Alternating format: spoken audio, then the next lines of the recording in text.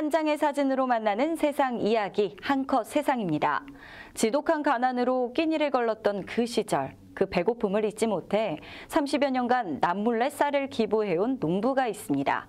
그 따뜻한 사연 속으로 함께 가보시죠. 전북 완주군 비봉면 한 마을에 사는 농부 박승희님. 최근 비봉면의 경로당을 돌며 500만 원 상당의 백미를 기부했는데요. 알고 보니 그의 쌀 기부는 처음이 아닙니다. 박승희 농부가 기부를 시작한 건 1990년대 초반.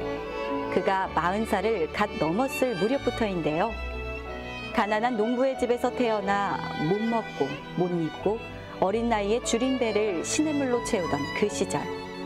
배고팠던 서름을 잊지 못해 악착같이 품을 팔고 이르래 논밭 퇴기를 모았습니다.